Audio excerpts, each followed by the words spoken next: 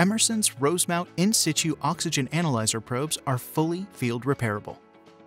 In this video, we'll show you how to install a replacement cell in the oxygen analyzer probe and replace your diffuser using a Rosemount oxygen analyzer replacement kit.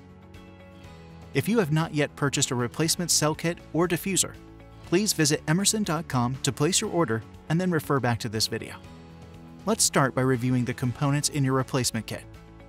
Each kit contains an O2 cell, an O-ring, anti-seize compound, hose clamps, closed-end connector, electrical tubing, ANSI flange gasket, DIN flange gasket, spare fasteners, and a corrugated metal seal.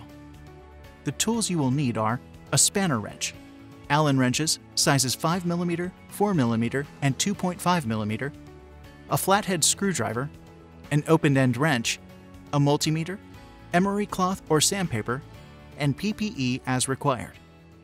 After you've powered down the probe and removed it from the process, you're ready to begin the repair. Please use caution here, as the probe may still be hot.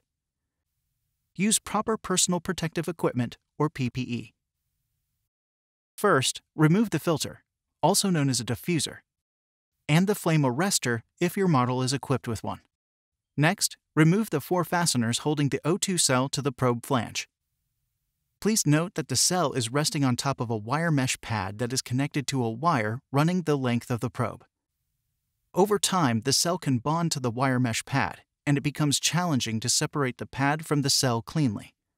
So here, you will want to carefully twist the O2 cell before you pull it out to effectively break any bond between the mesh pad and the cell. The goal is to have a clean break between the mesh pad and the O2 cell. Once you've pulled out the cell, you will either find that the cell is clean, as in this case, or you will find that the cell contains the wire mesh pad, as in this image. If the O2 cell is clean, Continue with your repair by sliding the progress bar at the bottom of the video to the chapter entitled Continue with Clean Cell. However, if you pulled out the O2 cell and the wire mesh pad is still connected, you will need to replace the cell pad and wire. In that case, please continue watching. Now, we'll demonstrate how to remove your heater strut and replace the cell pad wire along with your O2 cell. First, remove the cover and unscrew the terminal blocks and electronics boards. Gently pull and remove the quick connects. Now use your 3 16 hex to remove the four fasteners holding the heatsink to the blue housing. Remove the blue housing from the heatsink.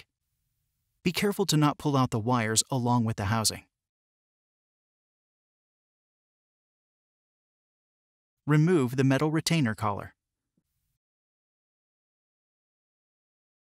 Remove the two red or black flexible hoses using a needle nose pliers to compress the hose clamps. Use the wire handle loop to pull the heater strut out of the probe body. Use caution when pulling this out, as there are fragile components in the heater core.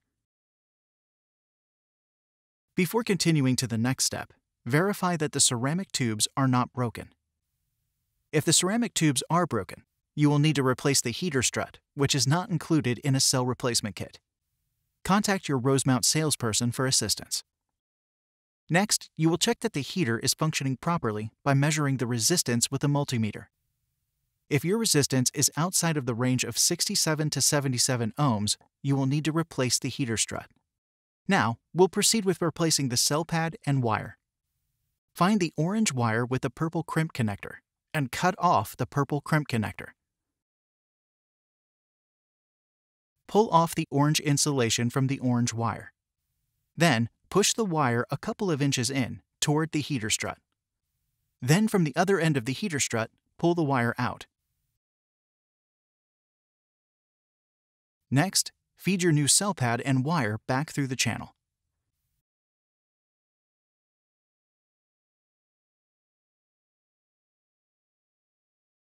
Reattach the thicker orange insulator strip the jumper wire and connect the insulator so that a half inch of pad wire is exposed for crimping the jumper wire.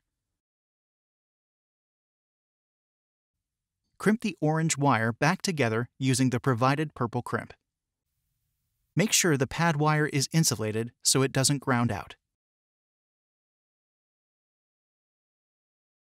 Insert the heater strut back into the probe body.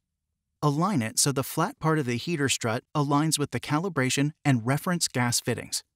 Once the heater strut is close to being fully inserted, use a small Allen wrench to guide the calibration tube through the opening in the heater strut.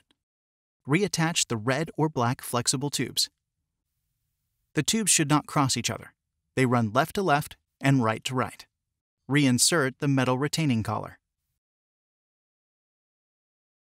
Verify that the housing cover O-ring is not damaged. You can replace it with one from the kit if necessary. Feed the wires back through the blue housing. Align the housing to the heatsink and torque the four housing bolts down at 35 inch-pounds. Connect the quick connects to the electrical boards. Screw the board and cover back into place. There are spare fasteners in the kit if you lose yours. Now that you've replaced the cell pad and wire, you are ready to continue the process of replacing your sensor cell. Set the old cell aside.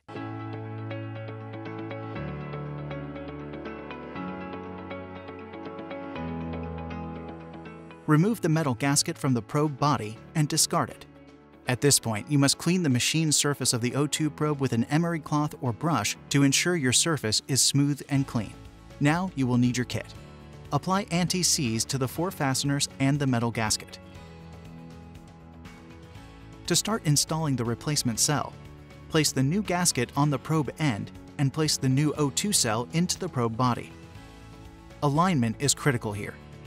Ensure that all five holes are aligned correctly and pay attention to the orientation of the gasket.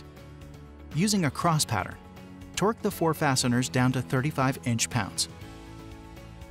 Now, Reassemble your flame arrestor if your product contains one. Then install the diffuser. Apply anti-seize to the threads before screwing it on. Your repair is now complete. After you've hooked up your power again, remember to calibrate your system. For more information, please visit emerson.com.